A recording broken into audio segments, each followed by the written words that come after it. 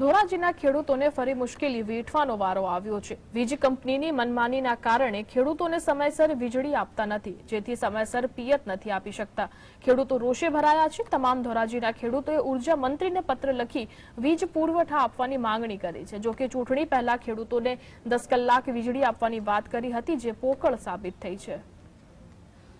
જે સરકાર શ્રી ચૂંટણી પહેલાં દસ કલાકનો પાવર આપતી હતી. એના અનુસંધાને સરકાર શ્રીના અનુસંધાને કે એની પર વિશ્વાસ છે અનુસંધાને?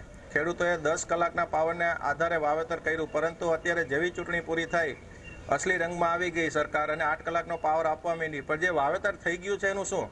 કે જેથી કરીને મોલ બગડે છે, લાંબા ગાળે જેવું પાક ઉપર આવશે ત્યારે પાણી પૂરું નહીં થાય, એટલે પાક નિષ્ફળ જશે. સરકારશ્રીને પત્ર લખી અને જાણ કરેલ છે કે ખેડૂતોને પૂરતા પ્રમાણમાં વીજ પુરવઠો આપવામાં આવે. ચૂંટણી પહેલા જે દસ કલાકનો વીજ પુરવઠો આપવામાં આવતો હતો, એને બદલે હાલમાં આઠ કલાક વીજ પુરવઠો આપવામાં આવે છે, જેને કારણે ખેડૂતોને ખૂબ જ મુશ્કેલીનો સામનો કરવો પડે છે અને પોતાના પાકને પિયત કરી શકતા નથી, જેને કારણે નુકસાનીનો પણ સામનો કરવો પડે. ભરવાડ યુવા સંગઠન ગુજરાત પ્રદેશ પોલીસ ભરતી ઉત્તીર્ણ થયેલા સમાજના બસો એકતાલીસ ઉમેદવારોનું અમદાવાદમાં સન્માન કરવામાં આવ્યું હતું.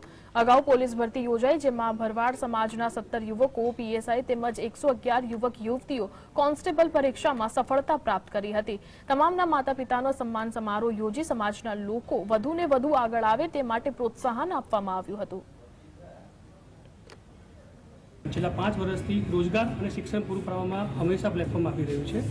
ગત આ જે એક્ઝામ ગઈ, એમાં કોન્સ્ટેબલ પીએસઆઈ અને ઈએસઆઈ એની અંદર ઓલ ઓવર ગુજરાત અમે લોકો સામાજિક સંસ્થાઓ, વડતાલ ધામ સમાજસેવકો અને સંગઠનના હોદ્દેદારોની મદદથી તેરસો જેવા છોકરાઓને અમે લોકો ઓલ ઓવર ગુજરાત છ મહિનાની ટ્રેનિંગ આપી.